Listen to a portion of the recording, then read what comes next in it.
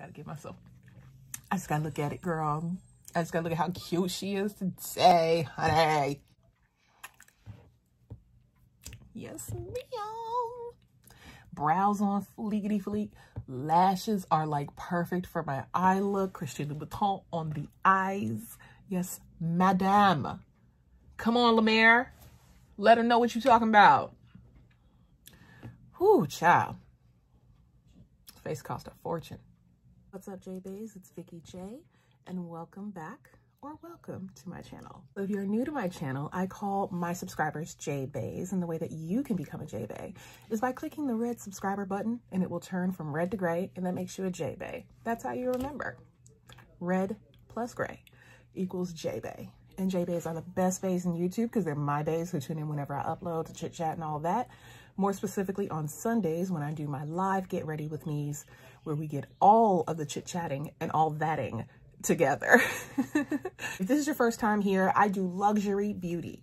I do reviews and Get Ready With Me's primarily.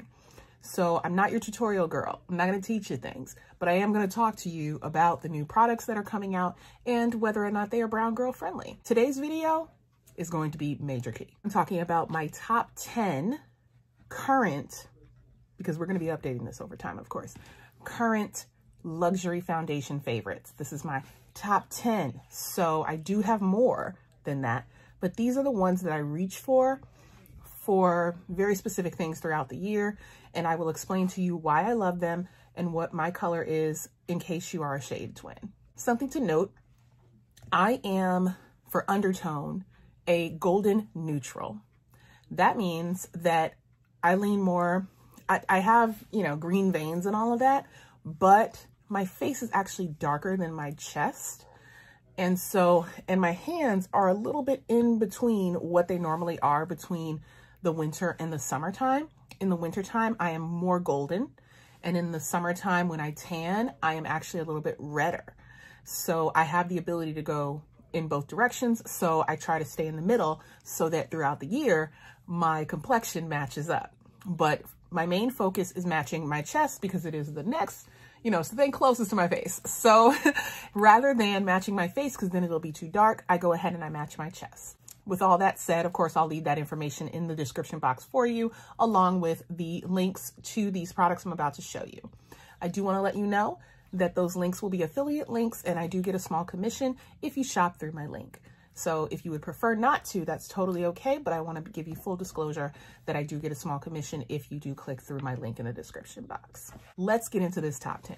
This is going from my least favorite to my absolute favorite. And I got to just tell you, just because it's the least favorite doesn't mean it's not absolutely fantastic. I don't keep anything I don't like. I don't bother with anything I don't like. So everything I'm showing you is good and I will explain why it ranks where it ranks, but just know they're bomb.com, every last one of them. Number 10 is Dior Forever foundation. This is the, um, not the one that just came out. I believe the one that came out is more like, you know, glowy and radiant. This one is matte, and I mean like extremely matte. And the shade that I have in this foundation is 6N or 060.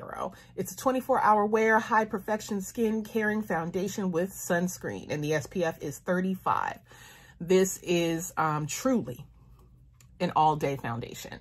Now, I chose six neutral because in the Dior Forever concealers, I chose five neutral and four neutral when I just should have went with four and a half. So if you are my shade, don't bother getting two of those $36 concealers, y'all. Just get 4.5. Don't be like me in that regard. I really love, I love this, but I will say I am 35 now and I'm starting to prefer, with my skin also changing from oily to combo, I'm starting to prefer a more natural finish and this finish is definitely matte. Not casket ready, but but it's matte, you know? Um, so you do have to, you know, go in with your sprays and, and you have to, um, and you don't have to set it. I do want to make a note of that. But if you are going to put a powder on top of it, I would recommend a luminous powder or a powder with a little, you know, hydration like the By Terry or the Carolina Herrera press powder. There's not too much to say about it. It's fantastic. It lasts all day. It plays well with um, pretty much all of my makeup. I haven't had a problem with it uh, blending out with any other products.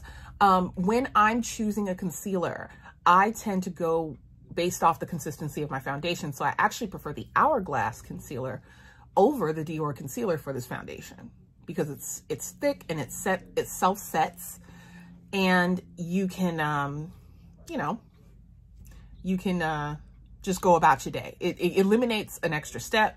And if you're trying to get ready in a hurry and you're oily this this is the girl.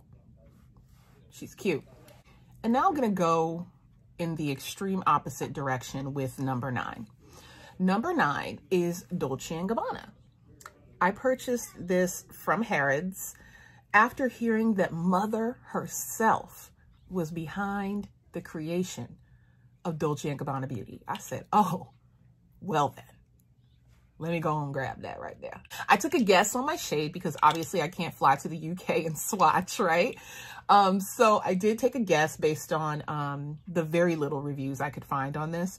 And I'm just going to give you the full name real quick. It's called Glorious Skin Perfect Luminous Creamy Foundation with SPF 20. And the shade that I chose that actually is a perfect match is 430 Sable. This is a glass jar, this gorgeous gold, um, gold filigree packaging, uh, Dolce & Gabbana on the center. It also comes with a uh, sort of skincare scooper. I don't use it. It's, it's mine. I make sure my hands are clean before I touch my face for makeup anyway. So I don't really bother. But, you know, for those of you who are really about that, I think that's great. But um, if you're shopping Harrods, and this is exclusive to Harrods um, at the moment, when you're shopping Harrods, um, their international shipping is a flat rate of $30 for the United States. So if you're going to purchase from Harrods, make, make it count. You know, you don't want to just grab one thing because you are paying $30 no matter how many things you get. So, you know, it's they've got a lot of great luxury products. They do they're a luxury department store. They do specialize in luxury beauty. They have a whole division for it.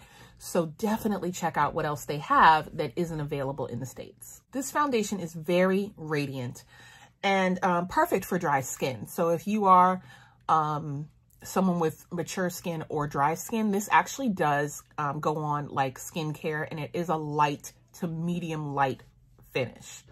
Uh, I'm sorry, coverage light to medium light coverage. Now, I'm somebody who battles with hyperpigmentation and acne scarring, and I am wearing this today. You might be asking yourself how the heck I did all this, right? I, when I reach for this, I know that I'm going to need additional coverage in my setting powder. And that's how I go about it. So I put on a full layer of it, just one complete layer. And then I will go over just my deep, uh, my sort of hyperpigmented areas real quick and just go for the medium light coverage. You know, I'm not trying to make it do something it doesn't do. Then I will go in with a more full coverage or, you know, a, a powder that has coverage. So that could be Laura Mercier's uh, medium deep powder, uh, Pat McGrath's loose powders, which I did use today. Um, on the uh, center of my face, I used medium number three. And then um, I also have Fenty's loose powder in the shade Cashew, which is what I used all over the rest of my face. And then voila, you don't have to do like, it, it can, it, it will get there. You don't have to rely necessarily on your foundation to do all of the coverage because sometimes that can lead to cake face. So you want to, you know, just keep in mind, you know, rely on, add some concealer. You know, I did a little uh, fake reverse contouring with my uh, concealer that I used today, which was Dior, and just spot treated certain areas with that because I love the finish. I love the finish. And after I have powdered with my combo um, skin type, after I've powdered, in the areas where I would get oily and set everything and then spray down. You know, once you finish the whole look, it really comes together. And this will last me about five hours before I have to just real quick touch up right in this area where I'm most oily. And that's fine by me. I understand that's what it is. I love this. It has skincare in it as well. The consistency is beautiful and light. I swear to you, you will, you will forget you're wearing it, even with the powder on. So for me, it's worth it. And I used to be somebody who was afraid to try luminous or radiant foundations because of my combo oily complexion. And in my 20s, it was just straight oily. But now this is, this is really awesome. But it does rank at number nine because I do have to like add and add to it and kind of take a little extra time in order to uh, get the desired result. So it's, again, not a bad foundation. It's a fantastic foundation, but you do have to kind of plan ahead, basically, if you want to wear this. Now, that's if you're somebody like me who has hyperpigmentation, acne scarring, and, you know, uneven skin. If you're somebody who has relatively nice skin, this is like, this is the goat especially if you're dry. This is amazing. You probably won't even have to set your face.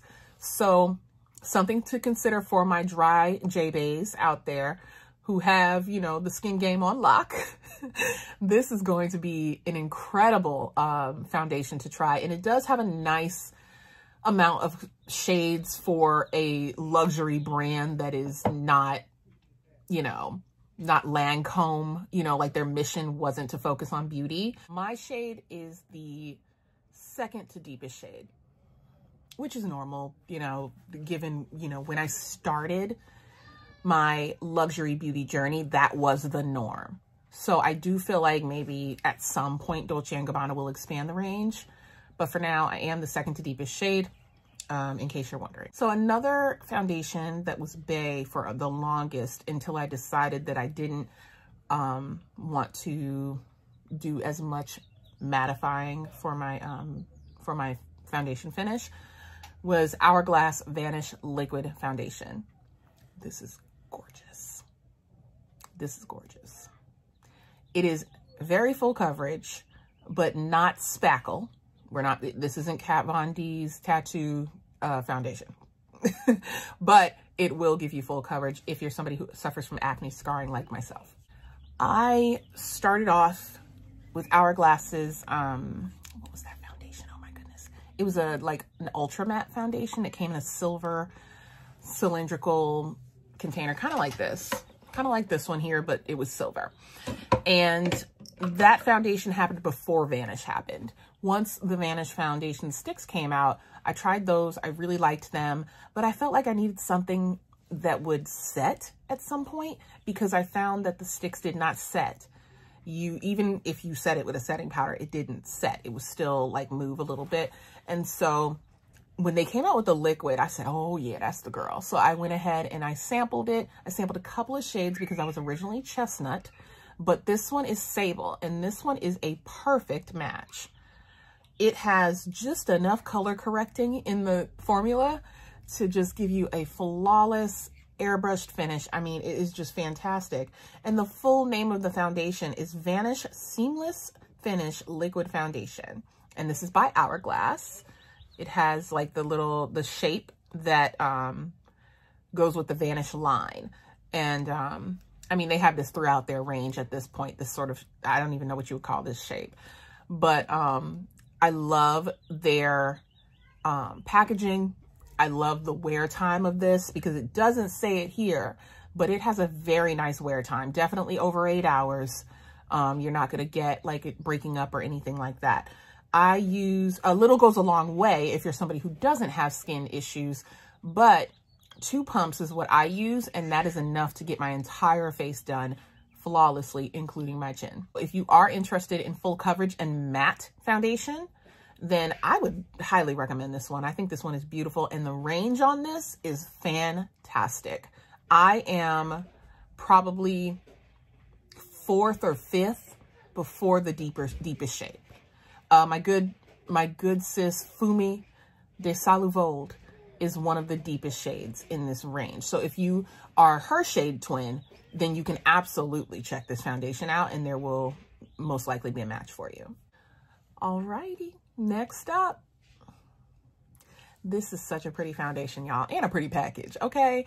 Guerlain L'Essentiel Natural Glow Foundation 16-hour wear with sunscreen broad spectrum SPF 20. Oh my goodness, this is beautiful. And I know it didn't rank top five, but that doesn't mean, again, that does not mean this isn't a good foundation. This is a beautiful foundation. The only reason it doesn't make it into my top five is because It wears for 16 hours, but it doesn't, I mean, it doesn't claim to, but I find that I get a little bit of oil peeking through by about the eight hour mark. And that's just with a regular work day. I have a sit down job at an office and, you know, I'm just talking. I'm just talking, you know, but I will still have like oil production uh, showing through even on like my cheek area, like right about here. And so for me, that's, ugh, it's not enough. That doesn't, I mean, if you want to touch up, absolutely go right on ahead and touch up, but I prefer not to. So if I don't have to, then, you know, obviously that one's going to rank higher. The shade that I am in for this one is 055W.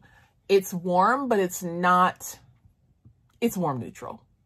It's not overly golden. So I love that. And they do have within that range of 055, they have cool, neutral, warm. And for each shade, they have cool, neutral, warm. So if you're my shade twin, but you run a little more golden or a little more cool or whatever, you can, and I do believe they have a cool as well. You can go right ahead and still get 055, just get the correct letter after your 055 shade. This one, I obviously liked enough to purchase, so it is a really beautiful foundation. It has a very natural finish. It looks like skin. It has the perfect amount of luminosity, but not radiant, not overly uh, glowy. And you know, I mean, look at that shade. It's just so scrumptious. I, I don't even know what else to say. it's a beautiful foundation. I just, just want you to be aware that you will have to uh, touch up if you are combo oily like myself. And so last up before we hit the top five is Chantecaille Future Skin. This one is the oil-free gel foundation and it comes in this beautiful little jar. This one does not come with a skincare scoop, but that's okay. Doesn't really bother me any. Um, and if you, you know, just hit up Amazon, you can get a whole bunch of them. You can get a bag of them. so, uh, this shade is Suntan, which is actually my shade. Initially, I couldn't test this out, so I purchased the deeper shade, which is Carob, and it works just fine. But this one is a more exact match. So again, if you're my shade twin, uh, go with Suntan instead of Carob. If you're slightly cooler than I am, then go for the Carob. And I'll show it to you. This is carob. This is suntan. So there's the, the difference. Future Skin is very lightweight. Like it says, it's oil-free. So if you are someone who is thinking that it's going to leave you as a grease ball, it does not. Future Skin implies that it is going to be skin-like. It gives you a very similar finish to the Guerlain, but I find that it lasts longer without producing oil. So that's why it edged out L'Essentiel in this particular ranking. So I definitely encourage you to try it. You can find it on a lot of different retailers. Um, I purchased mine from Saks, but you can find it on Nordstrom, I believe, as well as um, Neiman's. Next up is a recommendation from the fabulous Kelsee Briana Jai. I watched her ranking video, and let me tell y'all something. I'm going to link it right here. Y'all go and watch this video because she ranked all the foundations that she tried in 2019. You will learn so much from that video. Please, please do yourself a favor and watch that video. If you love luxury foundations and you're trying to collect, definitely, definitely check her out. This one was in her top five, if I'm not mistaken. And I said, ooh wee, I have to try it. And I am over the moon. This is a fantastic foundation. It does have a matte finish and it does last all gosh darn day. It is called Chanel Ultra Le Teint Haute Tenue Ultra, oh gosh, I'm not going to bother reading this in French. Give me one second here. Ultra Le Ultra Wear All Day Comfort Flawless Finish Foundation. there we go. the shade that I am is BD 131. Now again, because I could not sample this, I did end up purchasing on the side of caution and went with the darker shade, which was BD 141, which was not, not even close. Let me show you guys the difference here. Here they are. And you know, frosted bottles tend to show the shade a little lighter than it is. So this one is significantly deeper to the point where I would recommend that, um, I wouldn't recommend you move in any particular direction if you're my shade twin. This is the one you want period. Perfect match here, 131. This is 141. So if you are deeper than myself, I actually am considering selling this because I don't think I'm even get this deep because I mean, we're in quarantine. I'm not going outside that much, so I don't even think I'm going to tan. I don't want to waste this. So I might go ahead and sell it. Look out for this on my Mercari. It has all day wear, and this is a matte finish that is not overly matte. It is almost a natural matte, if there is such a thing, where like, if you want to, you can put on a hydrating powder on top, or you can just not set it. I think this, you don't even need to set. And I've done it both ways where I have set it or set it with a luminous powder, like the Carolina Herrera or the um, by Terry Hyaluronic powder. And I've done it where I did not set it at all and it looked beautiful either way. The consistency, like it's, it's full on coverage. Oh my God. It's basically an upgrade from Vanish in my opinion. It's an upgrade from Vanish and it's a little more hydrating than Dior. So that's kind of the in-between comparison there. And um, I've, I've been reaching for this a lot. I just feel like it's gorgeous. And obviously, I trust Kelsee and she delivered. I mean, I jumped on Saks without hesitation. I do believe I bought this from Saks without hesitation and copped it. And I'm so glad I did. I And I loved it so much knowing that I couldn't return the, the wrong shade that I just went ahead and bought it again. so that should tell you something. Definitely check this one out. Next up is one that I just do not hear a lot about, and I wanted to hip y'all on it. It's from Givenchy, and it is called Teint Couture Everwear 24 wear, 24 hour wear, satin finish, full coverage, and comfort. Ooh wee, this is so beautiful. So, so beautiful. Gorgeous natural finish, full coverage, but it's medium and then it's buildable to full. So you, you know, upon initial application, if, it, if you don't like full coverage, you can still rock this. And it sets down to a natural finish, as they mentioned. It doesn't transfer, but you can go ahead and set it with a light powder if you, you know, just for a little extra insurance. Also, this packaging is so chic. I love it. With the Givenchy logo on top, I mean, good grief. This is so cute. And I had said to myself, oh my goodness, okay, who don't I have on my list of, you know, on my roster, basically, on my foundation roster? And there are a few. I'm actually looking to get some Burberry. And uh, Givenchy was one of them. I really didn't look at the counter that much. I didn't pay a lot of attention to it. But I do have to say I love their lipsticks. So I wanted to give the foundation a try. I wanted to see what they were doing and what their range was like. This is Y400, so it is. It does lead more yellow, but it does kind of settle down and it doesn't look off. This is a very good match for me. Um, let me see if I can compare it to any of the other ones that I'm looking at. Yeah, yeah, yeah. So this one here, and then um, some other ones that I'm going to show you. But as far as like a really good comparison, I would put these two, you know, this is a frosted glass, so take that into consideration here. I think these two are a really great match together. Um, I also think Le Teint from Chanel also looks really close as well. Again, frosted bottle, so, you know, just imagine. So yeah, I feel like it's just right in line with all of those. It does say it's more golden, so keep that in mind. If you are somebody who leans more neutral, this is obviously not going to work for you. But they do have a range that can complement most skin tones. I wouldn't say all, and I wouldn't say they have this gigantic range, but they do have a good enough range to where it's worth trying out. So I wanted to bring it to your attention and see if you, you know, might be interested in trying Givenchy foundation. It's gorgeous. I mean, it's literally perfect. It's reasonably priced for a luxury foundation, so I think that you should definitely check it out. And now, we are in the top three. And some of the girls gonna be a little upset you know, and it's all right with me because we all have different needs for our foundation.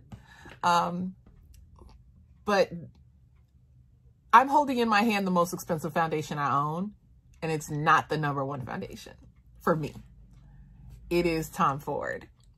it is Tom Ford Shade and Illuminate Soft Radiant Foundation Broad Spectrum SPF 50 in the shade 10.5 Mocha.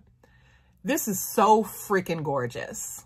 I do want to say that. It's amazing. It's and it and it took me a while. it had to grow on me. You know, it was like an arranged marriage. Just had to learn to love her because I bought her from Tom Ford Direct and you can't return. so I had to learn to love her. The first time I put her on, I said, mm, okay, this is 150. Mm. And then, and I did it without anything else on. Like I didn't prep my skin or anything. And then I turned around and said, let me try this out the way that I normally do my makeup. So I did. And then I liked it. I said, okay, this is cute, but I wasn't in love with it yet, you know? So after a couple more times of wearing it and kind of getting into the groove of what works best, I started to really love it. And I was like, oh, okay. So, so she's cute. Like she's actually like really nice. Okay. I actually love her. so it took about maybe, let me see, it took me about like five wears to go, oh, okay, she the goat. All right. All right, girl. I'm with it. And so now I'm sold. I really love it. I recommend it to anyone, really. I think this is great for all skin types. Uh, this glass bottle with the, like, come on. You know Tom Ford does luxury, right, baby? This is a bomb, display worthy packaging right here. And I honestly feel like the, um, the, did you see that? One more time, there you go. Magnetic. This bad boy Mm. like I'm just, I'm doing things and I'm hoping that you understand where I'm coming from with this body language because it's a very nice foundation. It's so lightweight. It's medium coverage. You, I don't think you get full out of this, but again, just a little powder, a little this, a little that, and you will get full coverage because I achieve a very similar look to what I'm wearing today with this foundation, but with less effort than the, the Dolce & Gabbana. Hope that makes sense. This is a soft radiant foundation, so it is giving you some luminosity, but it's not at all going to give you like greasy or too radiant. So if you are somebody who is oily or combo oily, I highly advise you to obviously set with a matte foundation or to use, or I'm sorry, a matte powder, or to use mattifying uh, primers in the areas where you're most oily. And that'll do it that'll do it. it. It has skincare in it as well. So, you know, you're, you're wearing it throughout the day. If you are somebody who has mature skin, it's going to really um, kind of boost your, your skincare that you already put down. And it has SPF 50. And I'm not saying that you can replace your SPF with it. I'm just saying, you know, it adds to it. And so your skin will end up looking a little bit better as time goes on. So I think the $150 price tag, I said I wasn't going to mention prices, but we had to for this one, you know, exceptions. But for the price tag, I feel like it's worth it. It's worth it to me. Now, obviously everybody's different. Your priorities in terms of makeup are going to vary. But for me, I'm not, I'm not regretting my purchase. And it ranks high for me because it does a lot it does a lot and it's giving me an elevated look to my makeup. So, you know, it, it upgraded me. Number two goes to Mother. Oh, God, I love this so much. We have Pat McGrath Labs Skin Fetish Sublime Perfection Foundation. And I am in the shade MD26. Now, she has a humongous range. Uh, for me, it, in my opinion, it's a big old range. I think there's 38 shades or something like that. So I'm literally nowhere near the deepest shade. The range is on point.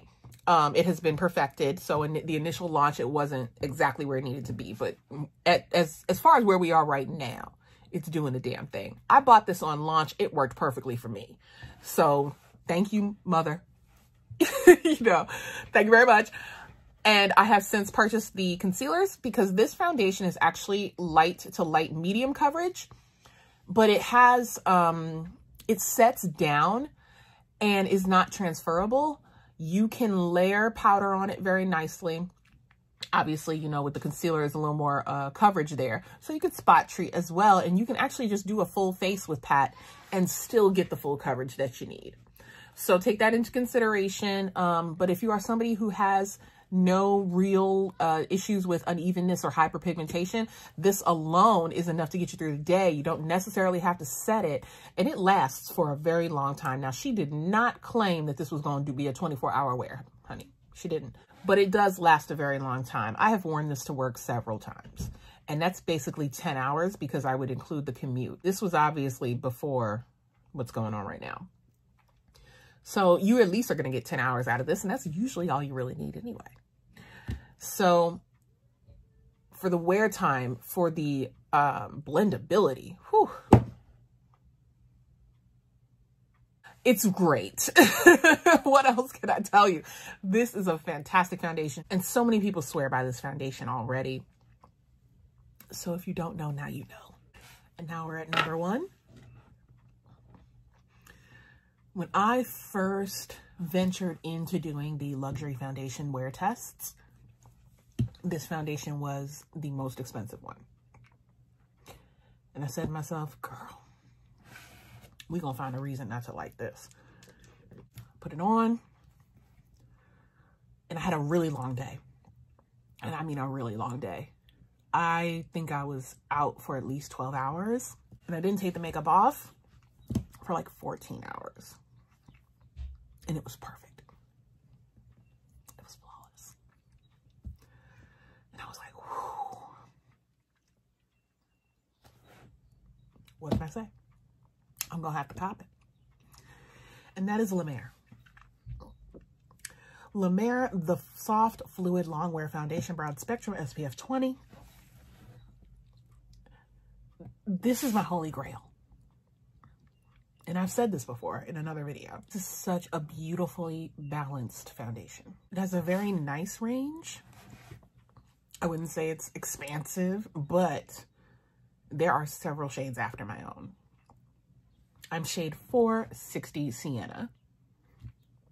And there are, I want to say about maybe four shades after mine, which is cute.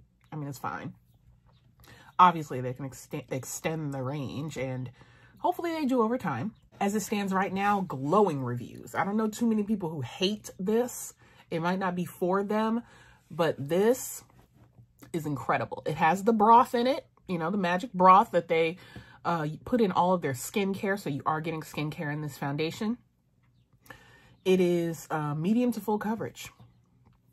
And the finish is a soft matte.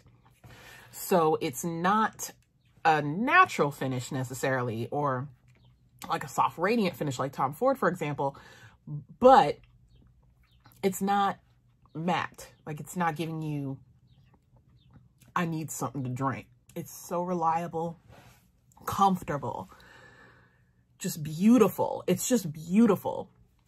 People are going to uh, compliment your skin when you're wearing this. I can't say enough good things about it. Like, I knew I had to have it. And I'm so glad I do. like, I feel like everyone should feel the way I feel about Miss La Mer. Beautiful packaging, frosted bottle, simplistic and still luxurious. I like that. Most of these are giving you one fluid ounce. Um, some might be giving you a little bit more, but um, overall, these are all gorgeous foundations that are going to be great for anyone who is a shade twin or similar, like a shade sister to me. There's definitely a shade for you in the line. And depending on the finish that you prefer, I'm sure I've covered the gamut. So now it is your turn to tell me out of my top 10, which ones you already have, which ones you're interested in, and which ones you just don't like. Absolutely comment in the comment section. Let's have a key. Let's have a chat. Let's, you know, discuss the luxury foundation of it all. And that's going to conclude this video. I want to thank you all for watching. And if you are new to the channel and you enjoyed this content, please let me know in the comment section and by subscribing. And my regulars who comment all the time, you know, I'll see you in the chat section. I will absolutely reply to every single um, comment that is left. Check out the description box for videos that are related to this one, as well as links to the products that I've discussed in this video and a list of the products that I'm currently wearing on my face. And that's going to do it, y'all. I'm going to get on out of here. Thank you so much for watching and tune in on Sunday at 1 p.m. for our live Get Ready with me. My community uh, page is always popping. New releases, um, upcoming releases, sales, you name it, looks of the day. So do check that out as well. And I'll see you on the internet, especially on the tube. Y'all have a great day. Bye-bye.